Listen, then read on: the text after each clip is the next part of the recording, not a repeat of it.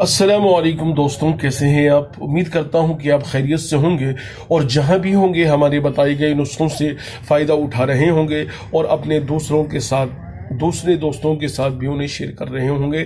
آج کا نسخہ میں آپ کو بتانے والا ہوں ان ماتاؤں کو آرام دینے کے لیے جن کے بچے بستر پر پیشاب کر لیتے ہیں۔ بچوں کا بستر پر پیشاب کرنا، عورتوں کے لیے، مہیلاؤں کے لیے بہت سارے کام بڑھا دیتا ہے۔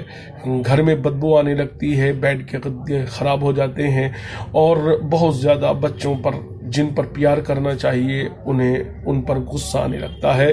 تو آج اگر آپ اس نسخے کو غور سے دیکھیں گی اور اس کو استعمال کریں گی، تو یہ آپ کے بچے اس کے استعمال سے پیشاب کرنا بھول جائیں گے۔ یعنی گدوں پر، ہمیشہ کے لیے نہیں، گدوں پر، بستر پر پیشاب کرنا بھول جائیں گے۔ نسخہ بہت ہی آسان، سستا ہے۔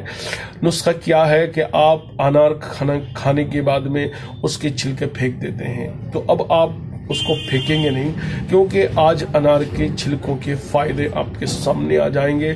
آپ کی آنکھیں پھٹی کی پھٹے رہ جائیں گی۔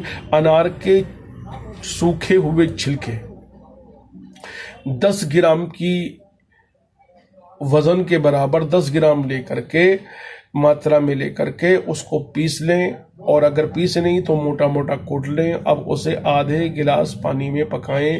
جب پکتے پکتے ایک کپ رہ جائے تو اسے چھان کر کے رکھ لیں۔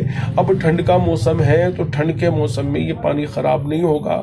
بچے کو، اگر بچے کی عمر جو ہے چار سے پانچ سال کی ہے، تو اسے تین چمچ صبح شام رات ایک ایک چمچ پلانا ہے۔ اور اگر بچے کی عمر دس بارہ سال کی ہے، تو اسے پورا ایک کپ پلا دیں۔ تو یہ نسخہ استعمال کرنے سے رفتہ رفتہ لگ بھگ ایک مہینہ آپ کو استعمال کرنا ہے۔ ایک مہینہ استعمال کرنے کے بعد یہ جو بچے ہیں، ان کے بچے جو ہیں، گدوں پر، بستر پر پیشاب کرنے کی عادت ان کی چھوٹ جائے گی اور ان کے مسانے کو قوت حاصل ہو جائے گی۔ اس نسخے سے پیشاب کا قطرے قطرے آنا اور پیشاب میں جلن آنا، یہ بھی سمسیایں یہ بھی تکلیفیں اس سے دور ہو جاتی ہیں۔ امید کرتا ہوں کہ یہ نسخہ آپ کو پسند آیا ہوگا۔ اس نسخے کو پسند کرنے کے بعد میں آپ سے گزارش کروں گا کہ آپ ویڈیو کو شیئر، لائک کرتے ہوئے چینل کو سبسکرائب کرنا نہ بھولیے گا۔